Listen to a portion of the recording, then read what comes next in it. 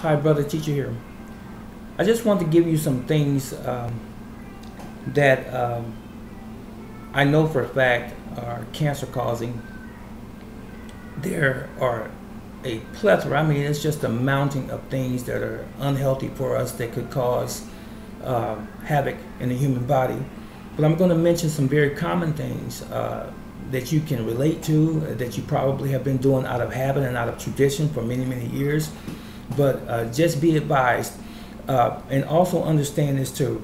Uh, for everything that you do negative to your body, it does have a positive uh, answer to it as well. There's a remedy to it. There's always something that's better for you. Okay, so don't think that you're missing out just because you don't get to taste your favorite food anymore. There's always going to be an alternative. Uh, you have to do, as I said before, a little research on your own. You know, be in charge of your own destiny. Now, I can give you uh, some pointers and I can tell you some things, but there's nothing like the gratification that you feel when you've done the work yourself. And it makes you convicted and it makes you convinced when you have put some effort in your own research. Okay?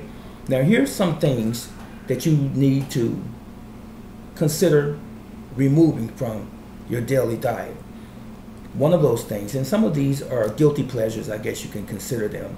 Uh, microwave popcorn. First of all, if you watch my videos in time past, I told you about the dangers of a microwave. It's a radioactive waves. It's radiation, in other words. When was radiation ever good? Especially in consuming it. You know, uh, anytime you cook anything in a microwave, you have destroyed all of its nutritional properties. There's nothing there. Okay? Number two, processed meats, full of nitrates and nitrites, high in sodium, in other words.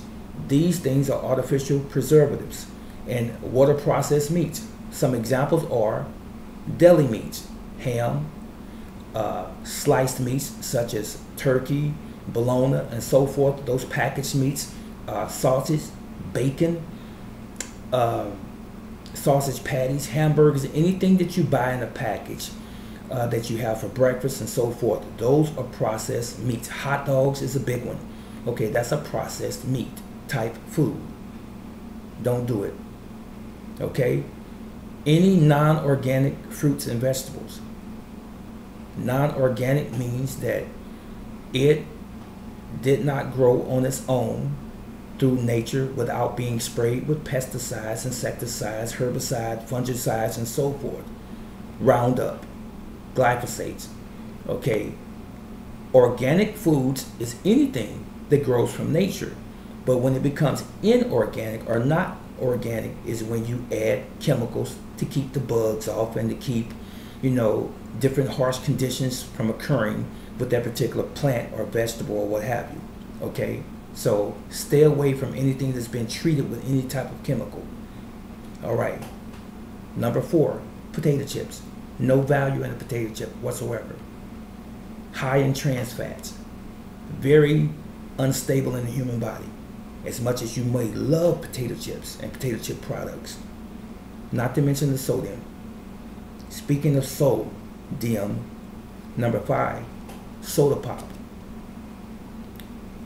I like a pop every once in a while, but don't forget what I said about the 90-10 rule that I have adopted for myself. Soda pop has no nutrition in it, like many of the other things. It tastes good, it's a lot of sugar in it, a lot of high fructose corn syrup and flavor, but it is a chemical.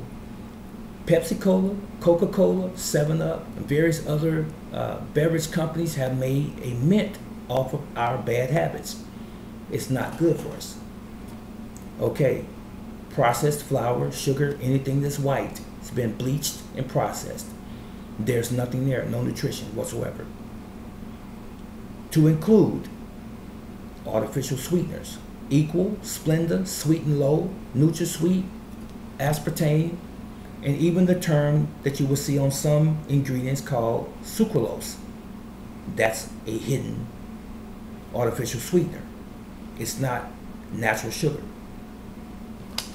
Uh, GMOs, genetically modified. If you are modifying anything that's natural, you're going to end up with a hybrid, something that's not real. It's not 100% real. It's not organic. Stay away from that stuff. High fructose corn syrup.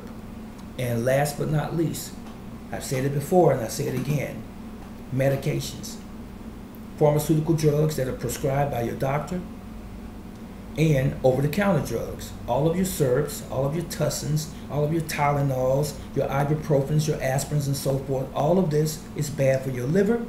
It's bad for your stomach lining. It's bad for your kidneys. Understand that. We've been taught and trained and programmed to think that just because our head is hurting, we have to go to the drugstore and purchase an over-counter pain reliever. But let me tell you, you're only treating symptoms and not the problem. You need to find out what the problem is, and then you can holistically treat the problem. And 99.9% of the times, the problem is that we're eating, ingesting, and drinking the wrong things. That's it. And that's all. This is Brother Teacher. So long.